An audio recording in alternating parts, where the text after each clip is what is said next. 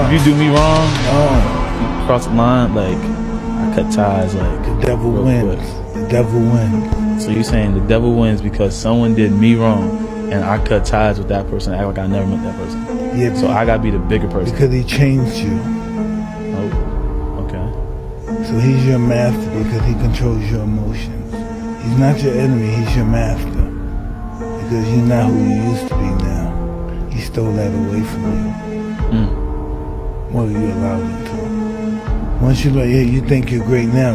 Watch how great you're gonna be when you learn compassion and empathy.